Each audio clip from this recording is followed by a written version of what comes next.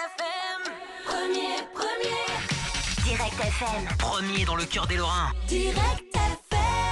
Direct FM a, réalisé son record d'audience euh, historique cette année. Le doublement de cette audience, je pense qu'il s'explique euh, par la proximité, la vraie proximité, puisqu'on sait qu'on ne peut pas tricher avec nos auditeurs. Il ne suffit pas de dire qu'on est numéro un sur la proximité.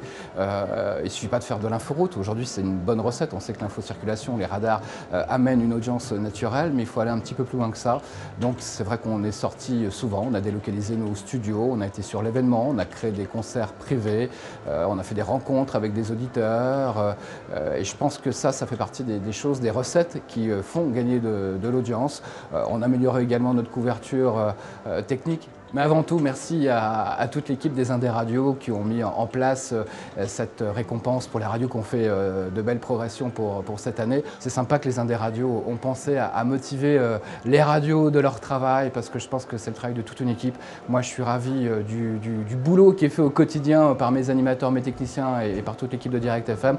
Donc c'est vrai que c'est motivant et ça fait toujours plaisir d'avoir une récompense. Donc merci les Indés Radio d'avoir euh, pensé à, Direct FM.